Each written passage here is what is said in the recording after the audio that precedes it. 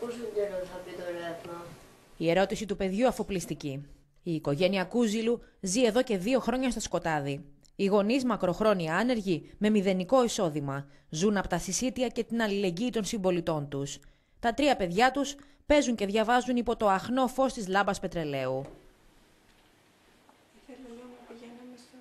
Οι συνθήκες είναι δύσκολες και για μένα και τη γυναίκα μου και κυρίως για τα παιδιά γιατί προσπαθούμε να κάνουμε ορισμένα πράγματα, παράδειγμα το διάβασμά τους, όσο διαρκεί η μέρα.